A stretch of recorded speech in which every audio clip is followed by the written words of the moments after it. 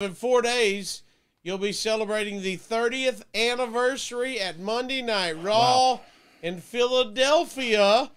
Uh, let's yeah. take yourself out of that for just a second, but just to look at it big picture wise, yeah. how big a deal is this for you personally, Dogg? Well, so it's look, it's really cool to me. I, I, they've asked me if I if I'm available. Uh, they have not asked or, or suggested any creative or anything like that, but I'm sure look, whatever they suggest, I will do gladly and I will do uh, to the best, best of my ability. And I will try to make you laugh and probably no one else. And as long as you laugh, I'm okay with that. Uh, that's been my whole career. And I'm not going to. We need a Fergal McDevitt shirt, Sonny. I need, I need a Fergal McDevitt shirt.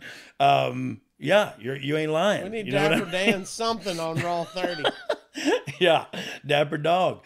Um, uh, and so, look, I I think it's awesome. I think it's I think it is awesome, and and I can appreciate this one a little more because of where I'm at in my head, in my what chapter of my life I'm in, and all that. I, I really uh, it, it, does mean a lot more to me now than it did five years ago. Um, and I, look, I do believe that was work uh, work rate not in ring work rate, but my work rate outside was plugging away week after week to write SmackDown, and to, to be at Raw was almost a distraction for me personally. Like I got we got yeah. stuff to do, you know what I mean? And so I don't know, just different perspectives. And my perspective this time is is what I think the the fans is kind of like, wow, what a what a milestone, what an achievement, thirty years on of weekly television, incredible. Like, is any? I, look, I don't. Know. Some know. shows I'm, don't make it the first. They get canceled mid season.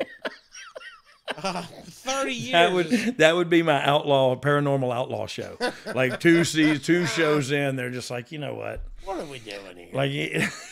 I mean, we've got it recorded, but we ain't even going to put that out there. We're we're not showing this to anybody, are yeah, we? Wait, we're not going to count that. Uh,